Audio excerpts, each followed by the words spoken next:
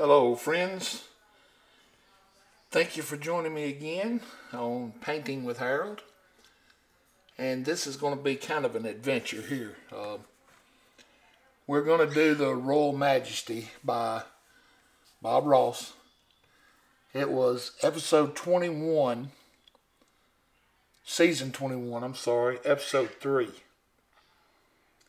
And what we've got is 16 by 20 canvas turned on portrait. And Bob used a black gesso to uh, make an outline. So the first thing we're going to do is that because it'll have to dry. And I'm going to break this video up in several segments because uh, this was a requested painting from a from a subscriber and he said he was having problems with the bottom half of the painting. And the top half of the painting, there's a mountain with a little distant mountain and some trees. It's a real, real pretty painting when it's done. Mine may, well, not no may, mine will not turn out as good as Bob's. But what we will do is uh, we'll jump in there and we'll give it a we'll give it a go and we'll do the best we can with it. And with that said, we're going to go right into it. Now, what I'm going to start with, I got a pencil here. And Bob had a had a had a kind of like a little valley in here with a big tall hill over here that came up. Um, the the best way I can say to do this is going to be come over here and come up about halfway of your canvas and then maybe a couple inches more and make your mark. And then over here, come down a couple inches and make another mark. Now, you don't have to be dead on with these marks.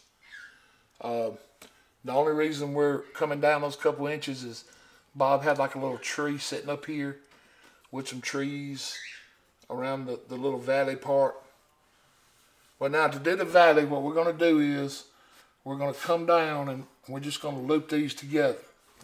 And to loop them together, we're going to come in, well, let's see, we come in about, say, middle ways of the canvas. Let's see how far up we are. This is two inches. Four, six. Okay, so that's eight. That's half. So that's where we at there. So here we up about, we up about, that's two, oh, let's do it again.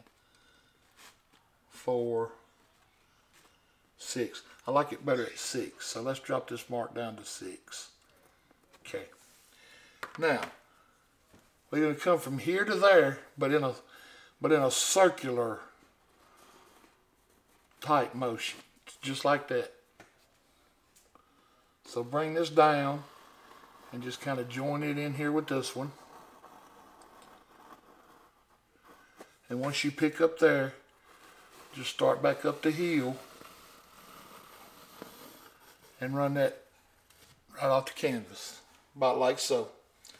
And what this is going to give us is just a a basic outline of, of, of what Bob had. Now, is it exact? No, I promise you it's not exact. Uh, but it, it will be close enough. Now, if you don't have a black gesso, you can use black acrylic paint. Uh, sometimes it don't work as good as gesso because it, it wants to, if it gets any kind of moisture on it, it wants to come off easier than gesso does, and gesso's a little thicker, but it will work. What I got is just a simple piece of cardboard that I tore off of a box, and I've got, and I'm using the Bob Ross gesso, the Bob Ross black gesso, and I take that, I take that gesso and I put it directly onto that directly onto that uh that cardboard. And I use that as a disposable palette because it's better than messing up your normal palette because everything has to be cleaned up with water when you're using this kind of stuff. Then I use a disposable foam brush. You can pick these up at a dollar store for pennies on the dollar. I mean, these things are like a buck for a pack of a lot of them. I think, I think there's probably six or eight in a pack, something like that. And I think they're a dollar at whatever that dollar store is, it's true dollar. One of them now is a dollar fifty, I think, or a dollar and a quarter. But all we're gonna do is we're just gonna come up to our line, and and this line does not have to be straight by no means. So we're just gonna fill all this in with the black gesso.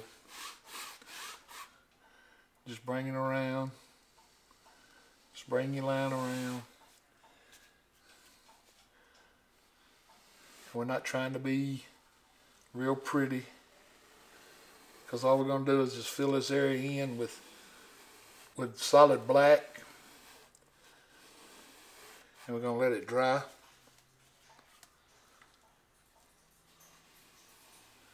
And if you go over the line a little bit, well, we ain't going to cry about it because we're going to have to go over the line in a minute anyway. So I promise you this is not a this is not a precision type outline here.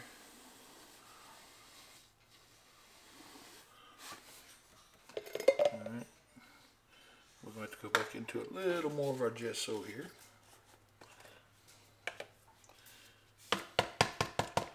I'm getting low. I'm just going to to make an order and get me some more.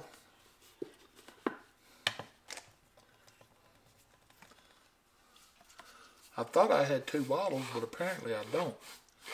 Now, one thing you can do is you can mist your canvas just a little, and it'll that water will mix with it, and it'll it'll kind of help it uh, thin down just a little, and it'll help it spread a whole lot more smoothly and it'll make it go a little further as well. We'll slow down your drying time, but you know, for the easiness of it, I'd say it's it's worth it.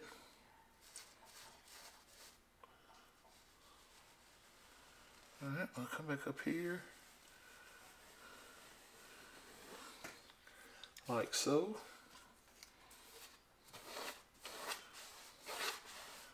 We'll paint it all in. We just want it solid black. That's all we're looking for. Just solid black.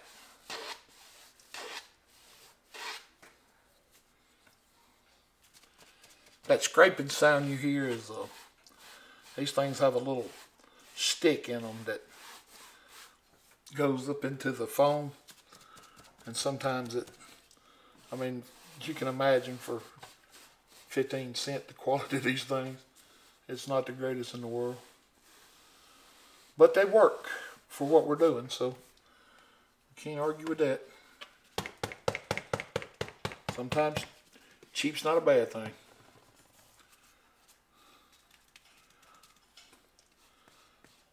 Now, by no means do you want to go and use uh, your Bob Ross brushes for this, for this painting of the gesso because gesso is acrylic based and it will require washing your brush, whatever you use, with water. Unless you use the foam brush, you know, you can dispose of these. They're they're so inexpensive you can just throw it away. But you know, if you don't want to throw it away and you want to wash it and use it, you can use it again. Uh, entirely up to you. But there's a process here that we are going to, or I'm to, I'm to use a brush. And you don't have to if you don't want to. All right, just like that, we got it pretty much filled in. That's about all we need. Now, I'm going to toss that brush. And what I was talking about on the brush is the making of the uh, the trees that are going to be way off in the distance. And I've got an older fan brush that uh, a fan brush like Bob's or Bill Alexander's or Kevin Hill, any of those guys that that have their own line of natural hair, natural hair bristles do not like water. So get you a, a oh goodness, I can't say it now. The nylon bristle brushes and they work fine for this kind of stuff. They're designed for acrylic, so and you can wash them and it won't hurt them because all you wash them with is water. All right, now Bob had some trees lining his his uh, valley here. So what we're going to do is we're going to come in with just like the little tappet trees that you do in a Bob Ross painting, but with oil. And we're just going to do little little tappy trees all the way around our valley. And all we're doing is pulling these trees straight in, tapping the canvas and pulling straight down. Just giving one a little bit taller look sometimes and shorter and taller and shorter and taller.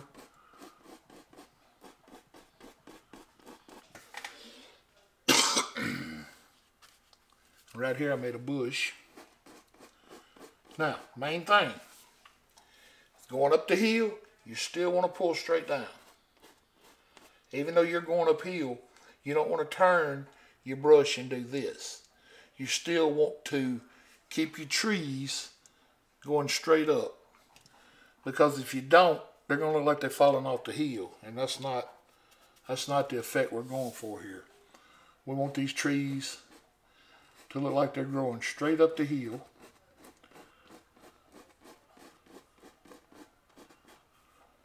just like this, just pull them straight up.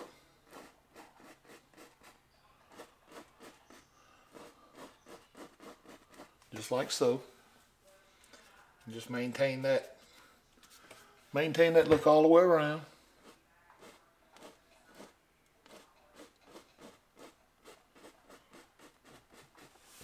Just like so. And Bob had one up here on top. It was a little bigger. So we can add it and come down. Now somewhere down that side, I don't remember about how far, I probably should have had the video playing while I did this to try to, instead of trying to commit to memory, because I'm getting old, my memory's not as good as it used to be. But what we want to do is on a couple of these, just like you making the the Z trees with the oil paint, it's the same way as making these. We just want to make a an indication. We'll do another one here. We just want some we just want some trees that look maybe a little bigger or a little fuller off in the distance. And none of these have to be perfect. Just something to indicate that it's a that it's an evergreen. And of course this one up here is going to be one. We want to add it in.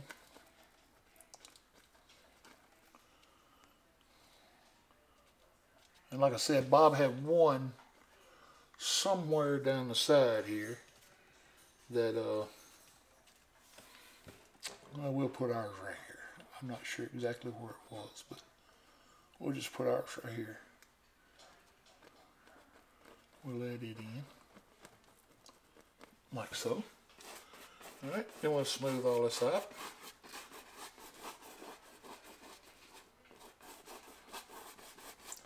And just like that, we are done with step number one. We will let that we'll let that gesso dry and we will come back in uh, if you paint along with me you're going to need liquid white for this area and liquid clear for this area the colors we're going to put in here on the black first to start with is going to be Prussian blue and midnight black. I do I do believe that was what it was. On our liquid white up top, we're gonna we're gonna do a little Prussian blue up here with some white clouds.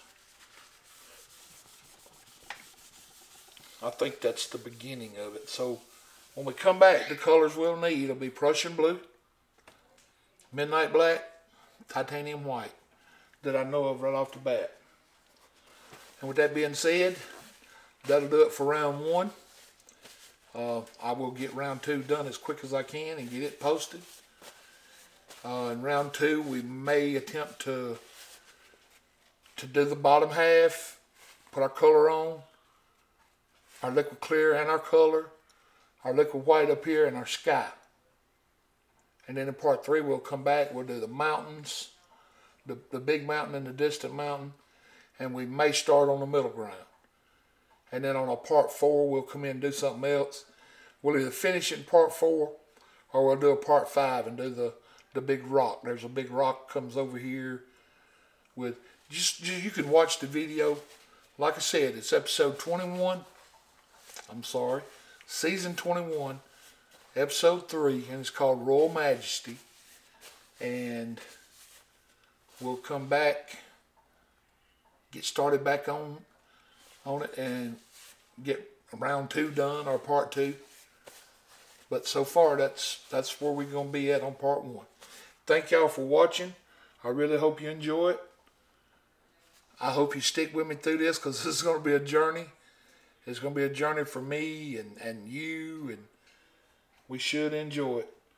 So if you hadn't already, hit the like and subscribe button and stay with me on this one because this one's going to get interesting. Thank you guys. Have a great night.